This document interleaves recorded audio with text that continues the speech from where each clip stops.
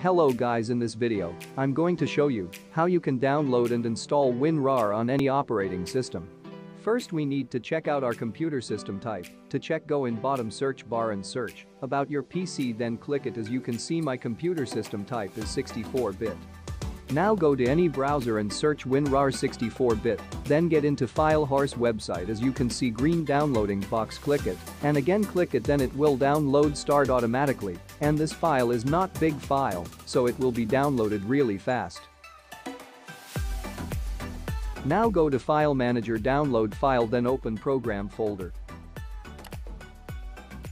Now click once and right-click tap and run as administrator option. When like this message pop up click yes, again click install button, then finally click OK as you can see WinRAR setup successfully installed to the folder and you can go and click done.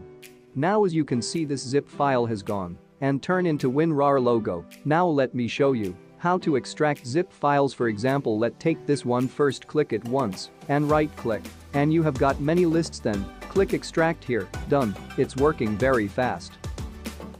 I will put both 64-bit and 32-bit WinRAR setup files in the description box. And don't forget to subscribe this helpful channel. And give like to this video. See you next time